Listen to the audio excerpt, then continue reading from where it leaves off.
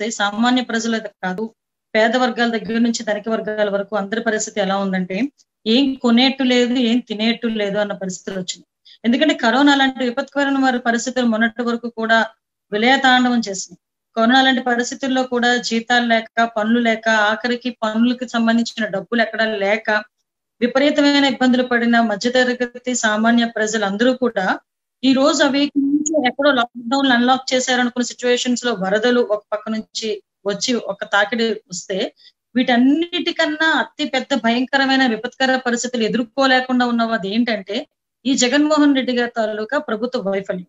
జగన్మోహన్ రెడ్డి తాలూకా తెలివి తక్కువతనం చేతకానితనం ఈ రోజు ఎలా అయిపోయిందంటే సామాన్య ప్రజల దగ్గర నుంచి పేద ధనిక వర్గాలందరూ కూడా నడ్డి విరిచి ఇంట్లో కూర్చోబెట్ట కూర్చోబెట్టినట్టుంది. ఆఖరికి సామాన్య ప్రజలకే కాదు ఒక మధ్యతరగతి ప్రజలకే కాదు పేద వర్గాల పరిస్థితి కూడా ఎలా ఉందంటే బయటికి వెళ్ళేదానికి లేదు ఇంట్లో ఉండేదానికి లేదు అలాగే ఇంట్లోనే ఎక్కడికైనా పనికి వెళ్ళేదానికి లేదు ఎందుకంటే బయట పనులు లేవు ఇంట్లోకి వెళ్ళ ఇంట్లో కూర్చుని తినే పరిస్థితి కూడా కనిపించని పరిస్థితి ఈ రోజు కనిపిస్తుంది మనకి. అంటే ఓవరాల్గా చెప్పాలంటే ఈ జగన్మోహన్ రెడ్డి గవర్నమెంట్ ప్రజలని పరిపాలించటంలో చిత్తశుద్ధి లేదన్న సంగతి అందరికీ తెలుసు. నూట యాభై ఒక్క సీట్లు ఇచ్చారు ఈ రోజు మేము పరిపాలించండి మమ్మల్ని అని చెప్తే ఈ రోజు నూట యాభై ఒక్క సీట్లు మా మీద మా వెనకాతలు ఉన్నాయని దాని తాలూకా బలంతో సామాన్య ప్రజలు నడ్డి విరిచే కార్యక్రమాన్ని జగన్మోహన్ రెడ్డి ఒక పథకం కింద ప్రవేశపెట్టుకున్నాడు. ఎందుకు ఈ మాట చెప్తున్నానంటే ఒక్కసారి ఆలోచించండి. ఒక సామాన్య మధ్య తరగతి ప్రజలు ఒక్కసారి ఆలోచించండి. ఎందుకంటే ధనిక వర్గాల వాళ్ళకి ఇంట్లో కందిపప్పు ఎంతో ఎంతో ఖరీదో తెలియదు నూనె ఎంత ఖరీదు కొంటున్నారో తెలియదు ఉల్లిపాయ ఖరీదు కూడా తెలియదు కానీ ఒక సామాన్య ప్రజలు కానీ మధ్య తరగతి ప్రజలు కానీ ప్రతి ఒక్కరికి కూడా ఒక రూపాయి పెరిగిన కందిపప్పు మీద ఒక ఐదు రూపాయలు ఎక్స్ట్రా పెరిగినా కూడా వాళ్ళ ఇంట్లోని సర్వైవ్ అవ్వటానికి కూడా ఇబ్బంది పడే పరిస్థితులు చాలా మంది కుటుంబాలు సుమారుగా ఎనభై శాతం కుటుంబాల్లో ఈ రోజు ఇటువంటి పరిస్థితి నెలకొంది. అటువంటి పరిస్థితుల్లో ఈ రోజు ప్రతి ఒక్కటి కూడా ధరలు పెంచేసుకొని రోజు రోజుకి కూడా ధరల పెరుగుదల ఎలా పెరిగిందంటే వీళ్ళు ఏదో అభివృద్ధి చేస్తున్నాం అన్నట్టుగా ధరలను అభివృద్ధి చేస్తున్నారు వీళ్ళు. అది కూడా ఒక రకమైన అభివృద్ధి అనుకుంటున్నారేమో ఈ మలోకాలు నాకు అర్థం కావట్లేదు అంటే ఆఖరికి ధరల పెరుగుదలని కూడా నియంత్రించలేక ఇంట్లో కూర్చొని ఆఖరికి పబ్జి గేమ్లు ఆడుకుని ఆఖరికి పబ్జి కూడా గేమ్ కూడా లేదు ఇంకే గేమ్ అయితే ఆడుకున్నాడు నాకైతే తెలియట్లేదు కానీ ప్రజల కష్టాలు మాత్రం ఈ సీఎం కి కనిపించట్లేదు అని చెప్పడానికి ఈ రోజు రోజు రోజుకి పెరుగుతున్న ధరలను చూసుకున్నాం అంటే ఫస్ట్ బయటకు వచ్చారు కరోనా లాంటి విపత్కరమైన పరిస్థితులు విద్యుత్ ఛార్జీలు పెంచుతున్నామంటే విద్యుత్ ఛార్జీలు ఎలా పెరిగినాయి అంటే ఒక్కొక్కరికి సామాన్య ప్రజలు కూడా పదేసి వేలు ఐదేసి వేల రూపాయలు కరెంటు బిల్లు వచ్చే పరిస్థితి దగ్గర నుంచి ఈ రోజు ఆఖరికి భోజనం చేయాలంటే బియ్యం ధర పెరిగింది.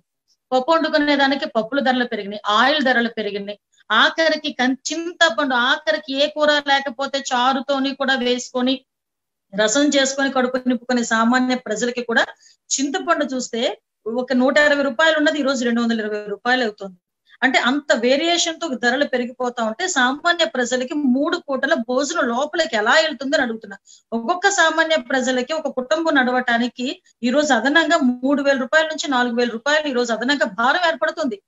ఈ రోజు ఒక ఒక సామాన్య కూలి చేసుకునే వాడికైనా రోజు మూడు వందల రూపాయలు ఐదు వందల రూపాయలు తెచ్చుకుంటే ఈ రోజు ఎక్స్ట్రాగా వాళ్ళకి మూడు వేల రూపాయలు నాలుగు వేల రూపాయలు అదనంగా భారం పడితే వాళ్ళు అప్పు చేసుకునే దానికి బయటకు వెళ్తే అప్పు పుట్టక ఇంట్లోని తినేదానికి తిండి లేక పిల్లలకి పెట్టుకోలేక ఈ రోజు ఎంత అల్లాడిపోతున్నారో ఒకసారి జగన్మోహన్ రెడ్డికి తెలుస్తుందా? జగన్మోహన్ రెడ్డికి కనిపిస్తుందా? ఆఖరికి బయటకు వెళ్ళేదానికి ఆటో నడుపుకునే వాడి దగ్గర నుంచి ఆఖరికి రిక్షా తొక్కుకునే వాడి దగ్గర నుంచి ఆటో నడుపుకునే దగ్గర నుంచి ఉద్యోగాలు చేసే వరకు కూడా ఆఖరికి ఉద్యోగస్తులకు కూడా జీతాలు కూడా సగం సగం జీతాలు ఇచ్చి ఈ రోజు వాళ్ళు పొట్టలు కొట్టే పరిస్థితి ఈ రోజు మనకు కనిపించట్లేదా అని అడుగుతున్నా. అంటే ధరలు పెరుగుతున్నాయి ధరలు పెరుగుతున్నాయి అంటే మామూలుగా ఏదో ఒక రకంగా మాట్లాడుకోవచ్చు కానీ ఇంత ర్యాపిడ్గా ధరలు పెరుగుతున్నాయి. కరోనా లాంటి విపత్కరమైన పరిస్థితుల్లో రెస్టారెంట్ల దగ్గర నుంచి హోటల్స్ వరకు అన్ని బంద్ అయిపోయినాయి. అటువంటి సమయంలో కూడా ధరలు విపరీతంగా పెరిగినాయి. అసలు తగ్గాల్సిన టైంలో కూడా విపరీతంగా పెరిగినాయి. అదే కాకుండా అన్లాక్ చేసేసిన సందర్భంలో కూడా ఇప్పుడు ధరలు తగ్గాల్సిన సమయంలో కూడా ఇంకా పెరుగుతూనే ఉన్నాయి. అంటే ఒకసారి మనం అర్థం చేసుకోవాల్సింది ఏంటంటే ఇది ధరల పెరుగుదల అన్నది విపత్కరమైన పరిస్థితి నేచురల్ డిజాస్టర్ కాదు. ఇది కేవలం ప్రజల ప్రజాప్రతినిధుల తాలూకా వైఫల్యం. అంటే ఒక పరిపాలన చేతకాని ముఖ్యమంత్రిని నూట యాభై ఒకటి సీట్లు ఇచ్చి తీసుకెళ్ళి సింహాసనం మీద కూర్చోబెడితే ఆయన అక్కడ కూర్చొని ఏం చేస్తున్నాడు అంటే వీడియో గేమ్లు ఆడుకోవడానికి తప్పించి ఇంక దేనికి ఉపయోగపడట్లే? ఒక మాట్లాడేది రాదు. ఒక సభలో స్పీచ్ ఇచ్చేది రాదు. ఆఖరికి ధరలు ఎలా నియంత్రించాలో తెలియదు ఆఖరికి దౌర్భాగ్యం ఏంటంటే ఇంకా కంపెనీలు ఆ ఉద్యోగస్తుల సంగతి పక్కన పెట్టండి. అవి ఎలాగూ లేవు. అంటే ఏమీ చేతకాని సీఎం కి నూట యాభై ఒకటి సీట్లు ఇచ్చి ఆంధ్రప్రదేశ్ ప్రజలు కూర్చోబెట్టారంటే ఈ రోజు వాళ్ళ పరిస్థితి ఎలా ఉందంటే బయటికి కక్కలేక మింగలేక ఇంట్లో కూర్చునే పరిస్థితి వచ్చింది. ఆఖరికి డీజిల్ ధరలు పెట్రోల్ ధరల గురించి ఇదే పెద్ద మనిషి మార్చి సిక్స్టీన్త్ రెండు వేల పదహారులో బడ్జెట్ సమావేశాల్లో గొంతు చించుకుని అరిచాడు అసెంబ్లీలో ఆయన. ఏమని అరిచాడంటే జీరో అవర్ కూడా మానేసి ఈ పెట్రోల్ డీజిల్ ధరల మీద ఎందుకు పెరిగినాయి అనేది చాలా పెద్దగా మనం చర్చించుకోవాలి. ఆంధ్రప్రదేశ్లో చంద్రబాబు నాయుడు విపరీతంగా అన్నింటి మీద ధరలు పెంచేస్తున్నారని చెప్పి ఊకదంపుడు ప్రసంగాలు ఇచ్చి గొంతు చించుకున్న జగన్మోహన్ రెడ్డికి ఈ రోజు నోరు ఎందుకు పెగలట్లేదు అని అడుగుతున్నా. ఈ రోజు మీరు పెట్రోల్ డీజిల్ ధరల తాలూకు ధరల పట్టిక పక్క రాష్ట్రాలు మార్కెటింగ్ ఉపయోగపడతాను పక్క రాష్ట్రాల వాళ్ళు పెట్రోల్ బంకుల్లో ఆంధ్రప్రదేశ్లో అయితే ఇంతే. ఈ ఈ ఈ రేట్ ఉంది మా దగ్గర అయితే అంతకన్నా రెండు రూపాయలు తక్కువకి ఇస్తున్నాము నాలుగు రూపాయలు తక్కువకి ఇస్తున్నాము అని చెప్పి వాళ్ళు మార్కెటింగ్ చేసుకోవడానికి కంపారిజన్కి ఈ రోజు ఆంధ్రప్రదేశ్ తాలూకా డీజిల్ ధరలని పెట్రోల్ ధరలని వాళ్ళు బోర్డుల మీద పెట్టే పరిస్థితి వచ్చిందంటే ఆంధ్రప్రదేశ్ ప్రజల్ని ఎక్కడ తీసుకెళ్ళి పెట్టి నిల్చోబెడుతున్నాడో నాకు అర్థం కావట్లేదు. ఆఖరికి పెట్రోల్ డీజిల్ ధరలు విద్యుత్ ధరలు పెరిగిపోయినాయి. ఒక సామాన్యుడు ఇల్లు కట్టుకోవడానికి లేదు ఒక రకంగా చెప్పాలంటే ఇసుక ధరని ఏ ఎక్కడికి వెళ్ళిపోయింది? ఇసుక అంటే బంగారం అయిపోయింది ఈ రోజు. వెయ్యి రూపాయలకి రావాల్సిన ఇసుక సుమారుగా పదివేల రూపాయలు పెడితే గానీ ఒక ఇసుక రావట్లే. ఆఖరికి ఐరన్ దగ్గర నుంచి సిమెంట్ వరకు అన్ని పెరిగిపోయినాయి. అన్ని పెరిగిపోయి ఆఖరికి ఎక్కడికైనా ఒక ప్లేస్ నుంచి ఒక ప్లేస్కి వెళ్దాం ఆర్టీసీ ఛార్జీలు పెరిగినాయి. ఇంట్లో ఉందామంటే విద్యుత్ ఛార్జీలు పెరిగినాయి. ఆఖరికి ఇంట్లో ఉండి ఏమైనా వండుకొని తిందామన్న నిత్యావసర వస్తువులు ధరలు పెరిగినాయి. ఆఖరికి ఉల్లిపాయ అండి. ఉల్లిపాయ పరిస్థితి ఏమైపోయిందిరా అంటే ఏదో సినిమాలో కొట్ట సినిమాస్లో కోడిని ముందు నేలగట్టి కోడిని చూస్తూ కోడి కూర తింటానని చెప్పి ఆలోచించుకున్నాడట. ఈ రోజు సామాన్యులు ఉల్లిపాయను తినాలి అనుకుంటే ఉల్లిపాయ ఒక ఉల్లిపాయ గడ్డను తీసుకుని వేలగట్టుకుని అది చూసుకుంటూ ఉల్లిపాయ కూర తిన్నాం అనుకుని ఆలోచించుకునే పరిస్థితి ఈ రోజు వచ్చింది. అంటే ఎంత దౌర్భాగ్యమైన పరిస్థితులు. ఈ రోజు ఈ సంవత్సరాల కాలంలో ఈ ఉల్లి ధరలు రెండోసారి. బుద్ధున్నవాడు ఎవడైనా వరదలు వచ్చేటప్పుడు ఉల్లిపాయ ధరలు పెరుగుతున్నాయి అన్న మినిమం కామన్ సెన్స్ ఎవరికైనా ఉంటే ఎందుకంటే ఆల్రెడీ ఇది జరిగింది కాబట్టి హయాంలో కరెక్ట్గా సిక్స్ సెవెన్ మంత్స్ కరోనాకి ముందు ఇదే పరిస్థితి ఉంది కాబట్టి చెప్తున్నాను నేను. అప్పుడు కూడా ఇలాగే వరదలు వచ్చినప్పుడు ఉల్లిపాయ ధరలు పెరిగితే బుద్ధున్నవాడనే ఏం చేయాలి? ఇలాంటి వరదలు వస్తాయి ఈ టైంలో దానికి స్టాక్ పెట్టుకోవాలనో లేదంటే అక్కడ నుంచి రప్పించుకో డంపింగ్ చేసుకోవాలనుకున్నో గొడౌన్ లోనో పెట్టుకొని ఉండాలి. కానీ ఆ ఆలోచన పాలోచన కూడా నేను ముఖ్యమంత్రి ఉండడం వల్ల ప్రతిసారి ఇదే పరిస్థితి అయితే సామాన్య ప్రజల పరిస్థితి ఏంటి అని అడుగుతున్నాను ఆఖరిగా చూసుకుంటే చింతపండు ఉప్పు ధరలను పక్కన పెడతానండి. ఆఖరికి ఎవడైనా కోడి గుడ్డు ధర కూడా ఆరు రూపాయలకి వెళ్ళిపోయిందంటే మహానుభావ కనీసం నీకు నీ నీ ప్లేట్లో పెట్టిన కూరల ధరలైనా జగన్మోహన్ రెడ్డికి తెలుసా? ఆ కూరల ధరలు జగన్మోహన్ రెడ్డికి తెలిస్తే సామాన్యుడి తాలూకా ఆకలి బాధ జగన్మోహన్ రెడ్డికి తెలుస్తుంది.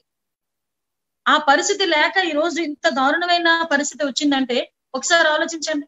సన్నబియ్యం సన్నబియ్యం సన్నబియ్యం అన్నారు. ఆ సన్నబియ్యం గురించి అడిగితే అమ్మల్ని అక్కల్ని తిట్టే మంత్రులు మా మీదకి ఏదో ఎవరిని వదిలి వదిలినట్టు మా మీదకి వదులుతారు మంత్రులు. తిట్టండి రా వాళ్ళని అమ్మల్ని అక్కల్ని కూడా తిట్టండి అని చెప్పి. వాళ్ళేమో సన్న బియ్యం పేరు ఎత్తితే చాలు ఇష్టానుసారంగా అమ్మనా బుద్ధులు తిడుతున్నారు మంత్రులు. సన్న బియ్యం దేవుడు ఎవరికి కనిపించట్లేదు ఆ సన్న బియ్యం ఆఖరికి కరోనా లాంటి విపత్కరమైన పరిస్థితుల్లో కూడా ఈ తాలూకా అనుచరులు చేస్తున్న ఆగడాలను చూస్తుంటే బాధ అనిపిస్తుంది. ఏమన్నా నాకు అర్థం కాదు. హోటళ్ళు రెస్టారెంట్లు అన్ని బంద్ అయిపోయినాయి. సామాన్య ప్రజలు తప్పించి ఇంకెవరు కూడా కూరగాయలను వాటిని ఉపయోగించట్లేదు. అటువంటి సందర్భంలో కూడా రేట్లు అంతలా ఎందుకు పెరిగినాయి? ఇంకో ఇంకొకటి. ఇప్పుడు విషయం ఇప్పుడు పరిస్థితులు మన మన పరిస్థితులు మనం చూస్తా ఉంటే సామాన్య ప్రజలు నడ్డి పెరచడానికి వీళ్ళు గొడవలు బ్లాక్ మార్కెట్ని ఎంత దారుణంగా వీళ్ళు ఆ ప్రజల్లోకి అంటే వాళ్ళు బ్లాక్ మార్కెట్ని వదులుతున్నారు ఆఖరికి. అంటే ఉన్న గొడవలన్నింటినీ దాచిపెట్టేసి కావాలని కృత్రిమంగా దీనికి తాలూకు కొరత సృష్టించి వీళ్ళ తాలూకా జేబులు నింపుకోవడానికి ఎమ్మెల్యేలు మంత్రుల తాలూకా అనుచరుల జేబులు నింపుకోవడానికి ఈరోజు సామాన్య ప్రజల పొట్టలు కొడుతున్నారు. సామాన్య ప్రజలు ఏడుపులు ఈ రోజు వాళ్ళు అనుభవిస్తున్నారు. ఒక్కసారి ప్రజలు కూడా ఆలోచించుకోవాలి. ఏమంటే ఇంతవరకు ఎక్కడ కూడా అన్లాక్ పీరియడ్ వచ్చింది. ఈ టైంలో కూడా అసలు యాక్చువల్గా చూడాలంటే ధరలు తగ్గాలి. పోనీ ధరలు ఇంతలా పెరిగిపోతున్నాయి కదా రైతులకు ఏమైనా గిట్టుబాటు ధరలు వచ్చేస్తున్నాయా అంటే రైతులకు కూడా గిట్టుబాటు ధరలు కూడా లేవు. రైతులకి గిట్టుబాటు ధర లేక హోటల్స్ లేక రెస్టారెంట్లు లేక ఆఖరికి అంటే ఒక కామన్ ఎక్కువగా ఉపయోగించే పరిస్థితి లేనప్పటికీ కూడా ఇన్ని రకాలుగా ధరలు పెరుగుతున్నాయంటే దీనికి ప్రధానమైన కారణం ప్రజలందరూ ఆలోచించుకోగలుగుతున్నారా? దీనికి కేవలం కృత్రిమంగా కృత్రిమంగా ఈరోజు కొరతను సృష్టించి మనందరికీ కూడా నిత్యావసర వస్తువుల ధరలను ఆకాశాన్ని అంటగట్టుకు చేసిన గనులు ఎవరైనా ఉన్నారంటే మంత్రులు ఎమ్మెల్యేల తాలూకా అనుచరులు వాళ్ళు మాత్రం. అంటే వీళ్ళు వాటాలకి వీళ్ళు జేబులు నింపుకోవడానికి సామాన్య ప్రజల తాలూకా పొట్టలు కొడతారంటే? అంటే ఏ వర్గం ప్రజలు ఈ రోజు ఆనందంగా ఉన్నారు? జగన్మోహన్ రెడ్డి గారి గవర్నమెంట్లో అన్నది ఆలోచించుకుంటే బాధ అనిపిస్తుంది. పోనీ ఇన్ని గవర్నమెంట్ ఇన్ని పెరిగినాయి. ఈ పెరిగిన దాంట్లో కూడా అన్నా క్యాంటీన్లు ఉంటే ఏమైపోయింది? ఐదు రూపాయలకు భోజనం తినేవాడే ఒక సామాన్య ప్రజలు వెళ్ళి ఒక సామాన్య మానవుడు వెళ్ళి ఐదు రూపాయలకి భోజనం తినేవాడు మూడు కోట్ల ఐదు రూపాయలు ఐదు రూపాయలు ఐదు రూపాయలు ఇచ్చుకొని అది కూడా చేయలేని పరిస్థితుల్లో ఈ రోజు దిగజారిపోయిన పరిస్థితులు ఉన్నారంటే ఒక్కసారి ఆలోచించుకోండి. అన్నా క్యాంటీన్ తీసిపడేసావు చంద్రన్న కానుకలు అంటే సంక్రాంతి కానుకలు రంజాన్ తోఫాలు ఏదీ లేదు. ఆఖరికి మళ్ళా పైగా ఏంటంటే ప్రగల్భాలు పలుకుతాయి. జగన్మోహన్ రెడ్డి గారు నిత్యావసర వస్తువుల ధరలు తగ్గించడానికి టాస్క్ ఫోర్స్ని పెట్టాము. ఈ దిశ చట్టం లాగే ఏడిచింది ఇది కూడా టాస్క్ ఫోర్స్. చట్టమే లేని చట్టానికి ఒక దిశ చట్టము దానికి పోలీస్ స్టేషన్లు దానికేమో ఒక అఫీషియల్స్ని ఎలా అయితే వేసారో పని చేయని టాస్క్ ఫోర్స్ ఒకటి వేశారు. ఎప్పుడైనా ఏమండి ప్రజలు ప్రజల మీ అందరికి ఒకటే క్వశ్చన్ అడుగుతున్నా ఏ రోజైనా ధరల నియంత్రణకి ఏ టాస్క్ ఫోర్స్ మీ ఏరియాలోకి వచ్చి పనిచేసిందా? ఏదైనా టాస్క్ ఫోర్స్ ఈ రోజు వరకు ధరలు పెరుగుతున్నాయని చెప్పి ఏదైనా షాప్ని సీజ్ చేసిన సందర్భం మీరు చూసారా? ఏదైనా షాప్ మీద కనీసం వాళ్ళు రైడింగ్ వెళ్ళిన సందర్భం అయినా మీరు చూసారా? మరి టాస్క్ ఫోర్స్ ఎక్కడుంది? మాటల రూపంలో టాస్క్ ఫోర్స్ నుంచి ఆఖరికి ఎంఆర్పి ధరల మీద కూడా అంటే నాకు తెలిసేది సాధారణంగా నేను ఎమ్మెల్యేగా చేసేటప్పుడు చాలా మంది మధ్య రేట్ల మీద ఎంఆర్పీల మీద పది రూపాయలు ఇరవై రూపాయలు ఎక్స్ట్రా వేసి అమ్ముతున్నారండి. అలా ఎలా పలానా షాపుల్లో చేస్తున్నారు అలా చేస్తున్నారు అని ఒక టాక్ ఉండేది ఒక మాట మాట్లాడుకునేది అలాంటిది ఈ రోజు ఎంఆర్పి ధరల మీద ప్రతి ఒక్క వస్తువు ఎంఆర్పి ధరల మీద కూడా సుమారుగా పది రూపాయల నుంచి ముప్పై రూపాయల వరకు కూడా ఎక్స్ట్రా వేసి అమ్ముతుంటే సామాన్య ప్రజల పరిస్థితి ఏంటి? మీ టాస్క్ ఫోర్స్ ఎక్కడుంది? మీ ఎమ్మెల్యేలు ఎక్కడున్నారు? మీ మంత్రులు ఎక్కడున్నారు నువ్వెక్కడున్నావయ్యా సీఎం అంటే ఈ రోజు నీ నూట యాభై ఒక్క సీట్లు ఇచ్చాము మాకు నచ్చినట్టు మేము పరిపాలన చేసుకుంటాము మీరు అనుభవించండి అని చెప్పి ఈ రోజు ప్రజల తాలూకా మనోభావాలను మీరు ఇలా దెబ్బతీసే పరిస్థితి కనిపిస్తుంది. ఆఖరికి ఉద్యోగస్తులు. ఈ రోజు మూడు మూడు డిఎల్ లేవండి వాళ్ళకి. పిఆర్సీ లేదు మూడు డిఎల్ లేవు. ఆఖరికి ఈ రోజు ఒకటో తారీఖు అయ్యేసరికి మాకు జీతం పడతాదా రాదా? పడేటప్పుడు అంతా పడతాదా? లేదంటే ఫిఫ్టీ పర్సెంటే పడతాదా? అన్న రీతిలో ఆఖరి పనిచేసే ఉద్యోగస్తులకి కూడా మీరు ఉద్యోగాలు జీతాలు ఇవ్వలేని పరిస్థితుల్లో మీరు కేవలం నవరత్నాలు అంటే మీ ప్రభుత్వ ఖజానా పెంచుకోవడానికి మీ తాలూకా హామీలు అమరపరుచుకునేడానికి ఒక ఆర్భాటానికి ఈ రోజు ప్రజల సొమ్మును ఖర్చు చేసి ప్రజల తాలూకా నట్టి విడుస్తున్నారంటే ఒకసారి ఆలోచించండి. మీరు వేసిన రంగులకి మీ బిల్డింగ్ వేసిన రంగులకి నాలుగు వేల కోట్ల ఆ నాలుగు వేల కోట్లు ఉంటే ఈ రోజు అదనంగా కేవలం పెట్రోల్ ధరలు పెంచేదానికి పెంచినందుకు వెయ్యి వెయ్యి కోట్ల రూపాయల భారం ప్రజల మీద పడింది. ఆఖరికి విద్యుత్ ఛార్జీలకి పదిహేను వందల కోట్లు భారం ప్రజల మీద పడింది ఈ రోజు. ఆఖరికి ఇంకొకటి ఏంటంటే ఆయిల్ ఆఖరి విషయం ఏంటంటే విద్యుత్ ఛార్జీలకి ఆర్టీసీకి డీజిల్ పెట్రోల్కి కలుపుకొని సుమారుగా రెండు వేల మూడు వేల కోట్ల రూపాయలు అదనపు భారం పడింది.